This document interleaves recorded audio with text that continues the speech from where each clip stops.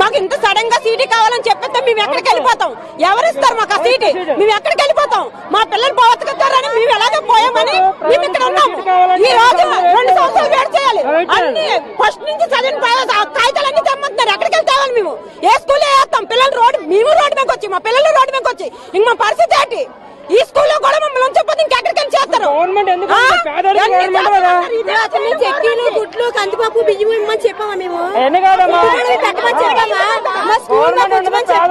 మేము ఎలాగో చదివించుకుంటున్నాం పిల్లలు గవర్నమెంట్ స్కూల్లోని. అలాగ ఉండించచ్చు కదా.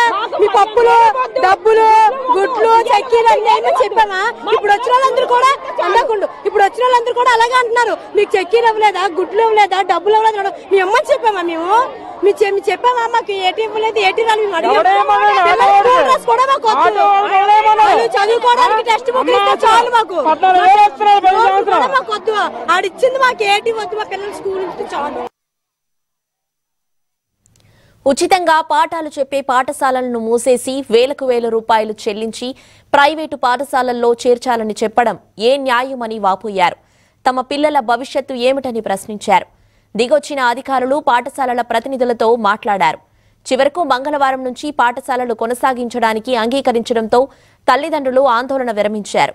విశాఖ జిల్లాల్లో తొమ్మిది పాఠశాలల యాజమాన్యాలు ఆస్తుల అప్పగింతకు అంగీకరించాయి. మరో అరవై రెండు పాఠశాలల యాజమాన్యాలు టీచర్లు స్టాఫ్ను అప్పగించాలని నిర్ణయించాయి. జ్ఞానాపురంలో సీక్రెట్ హార్ట్ పాఠశాలను పంతొమ్మిది వందల అరవై ఐదులో సెయింట్ పీటర్స్ పాఠశాలను పంతొమ్మిది వందల అరవై ఎనిమిదిలో ప్రారంభించారు.